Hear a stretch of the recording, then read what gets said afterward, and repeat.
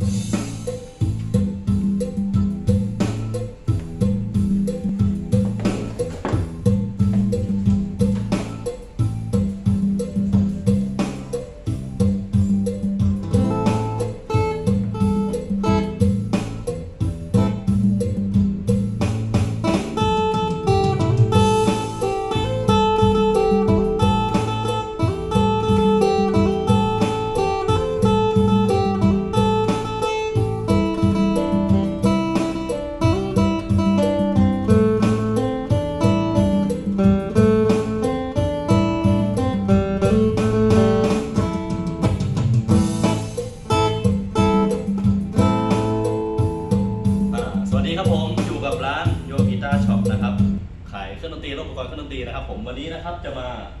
รีวิวสินค้าก่อนจะส่งลูกค้านะครับ วันนี้เป็นวันที่ 5 นะครับผม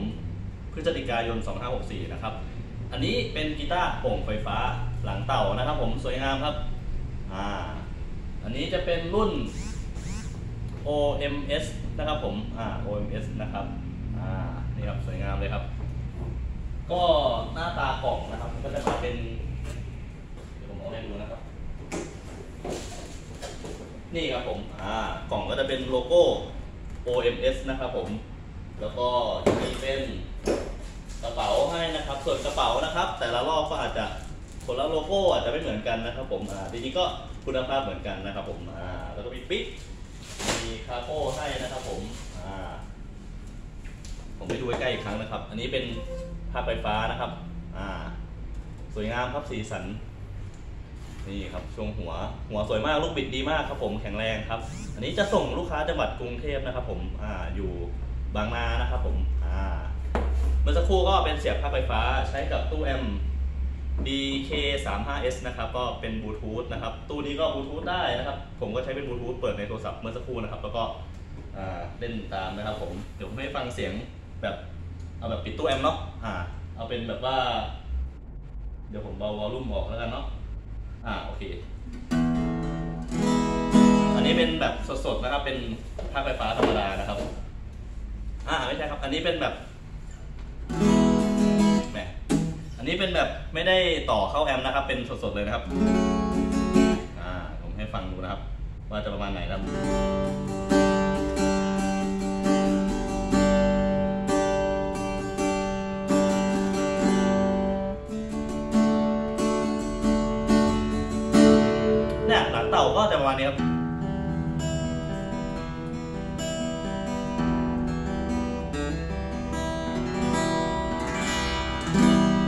ผม อ่า เสียง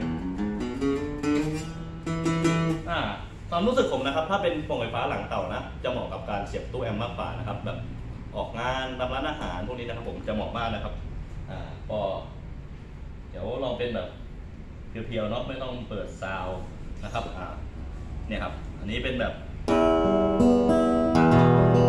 เนี่ยครับ อันนี้ต่อเข้าแอมนะครับผม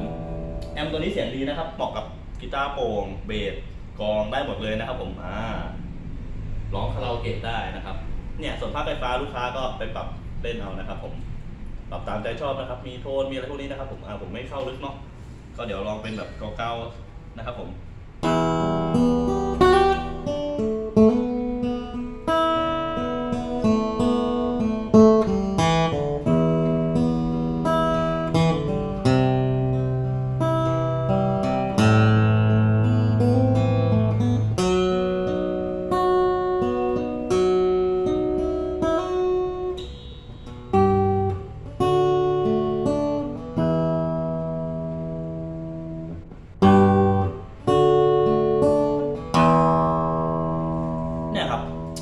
เสียงใสมากครับผม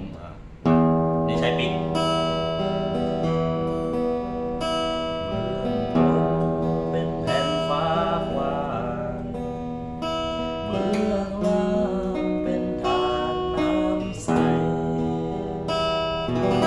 ประมาณนี้แล้วกันเนาะอ่าโอเค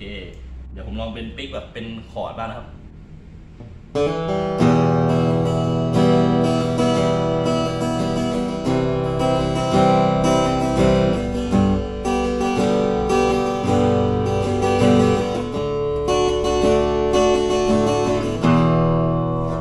เบสหนามากครับผมก็